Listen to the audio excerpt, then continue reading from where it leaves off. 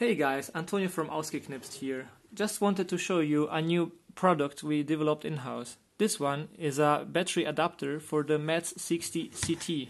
It uses 10 AA batteries that you can just insert in to replace the original and often broken or expired battery that comes with the Metz 60 CT. There are some replacement parts online, but they are quite expensive, so we decided to develop our own one.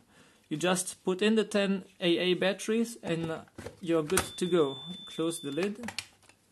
And I plugged in, uh, I put already on the, the mats and here it works just fine. Thanks for watching.